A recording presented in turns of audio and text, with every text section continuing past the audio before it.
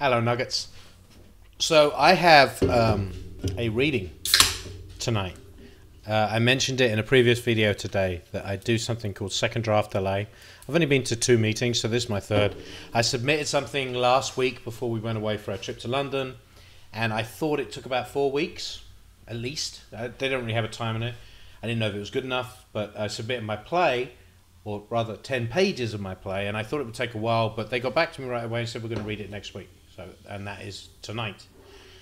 So I've got it all copies. I've got all the copies ready. It's only a two-hander. Um, it's called Beast. Um, but so there are three people reading. One reads the stage directions, of which there are very few. But one reads the stage directions, um, and then two characters. Um, and then I've got to introduce it, and I'm kind of nervous. Um, I don't get nervous very much. I have, because of the I've just been fortunate in the career, the kind of jobs I've had have required me to do certain things in front of people. Um, you know, speeches or talks or be the focus of attention um, a lot. So I don't usually get that nervous. I have tools to deal with it. You know, I can lessen the the importance of it. I know I'll be able to let it go and all that kind of stuff. Doesn't make me a good actor though. I, I don't. When it comes to acting or performing, I've tried it. I get very nervous and I don't like the feeling. And because I don't like the feeling, honestly, it's why I'm not an actor because I just I can't stand that feeling. I don't like the nerves. And tonight I'm nervous, and it's weird because they don't give you notes at this second draft. You literally just turn up. They do five of them a night, and there's a music act. And the five they read five pieces, all of them ten pages. Um, and they cast them on the day. You read them out. Everyone says, "Eh, well done, applause." Next, that's it. There's no feedback whatsoever. So the purpose of it is just to get out of the writer's head, to let the writer go and just like not have it all in this one little prison inside their own mind. This is what it sounds like when someone cold reads it. And it's cold reading. So the actors haven't seen it until you turn up on the day. So it won't it also won't be that good. There are some great cold readers, obviously. I don't want to imply that. But but there's no work on it. It's not rehearsed. So they're going to get things wrong, or they're going to have an interpretation that hasn't been worked with a director, you know. But um, I'm still on the fence about how useful that is to have a reading with no notes, because I know that sometimes notes can be really bad. Sometimes notes can be incredibly insightful, and just you know, I've had notes before that have completely changed the material. I'm like, oh, yes, I need to. I got one for this play actually, and I'm still working on the change. I got one from a friend of ours, director named Scott Cummings, who gave me a note I'm like, oh my god, yeah, I got to rewrite the play. Um, not from scratch, but I've got to make changes. But tonight I won't be getting any notes. So I think it's a very polite audience. So I think I'll get applause, and I'll get a couple of people afterwards going, "Well done," you know. But it, it won't really mean that much. It will just make me feel a little bit better. But I'm wondering if I can see how for some writers this kind of exposure is very important to start developing a thick skin to, to get beyond that. But I think, surprisingly, I already have a thick skin with my writing, so I don't know how useful it's going to be. And yet I'm nervous. So who? I, I, I don't know. I think uh, I think I'm more nervous because it's a brand new group, and I, none of these people know me. I've I've said hello to them a couple of times, you know, and uh, I'm I'm talkative. I think I'm nice in public, and I, I I I appear to be much more gregarious and social than I really am which is why going out exhausts me because I put on this act and they're like, that guy's fun. And then they never see me again because I'm just, I go away into my little hole. And this is more of an ongoing exposure of potentially developing friendships and social rela- relationships. Um, so maybe I'm nervous about exposing part of my real work to people that I know I'm going to see again. That could be it. You know, when you stand up in front of a group of people, I'm not nervous, but I also kind of know hey, I'm not going to see any of these people again.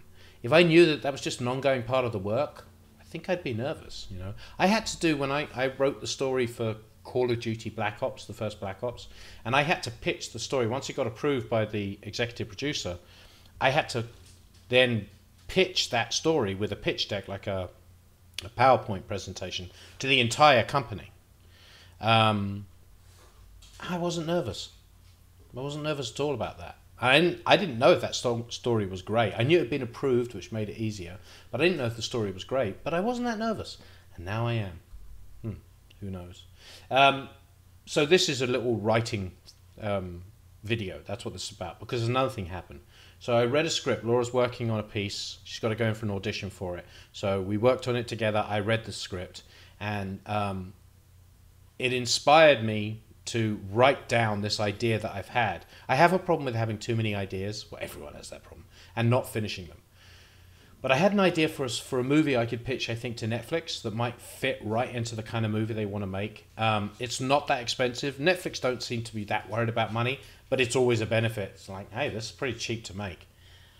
The problem is, whenever I write a new idea I have a new idea, I have a process I go through, which is I write the log line, and then I write the synopsis, and then I write the beat sheet, or sometimes beat sheet before synopsis, and then I do it on index cards, and then I arrange the index cards, then I see the movie, then I write the movie.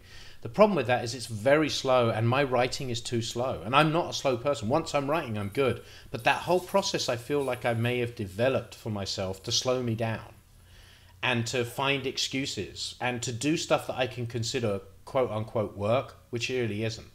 So with this new idea, the one I've that's been in my head for a couple of weeks, but now as, as is a true idea that I want to write. I think I'm going to write the script without doing anything. I've got the log line. I, I can't write anything without a log line. I've got the log line to keep referring back to, saying what was the point, what's the theme, what am I doing.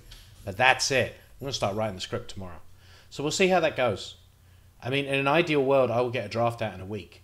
That's what. That's where I would like to be. Is have an idea, and have a script in a week. And I know that sounds ridiculously fast. Not a finished script just to get a script, just to say, okay, I have a body of work here. So if I have a conversation with someone and they say, what, what else have you got?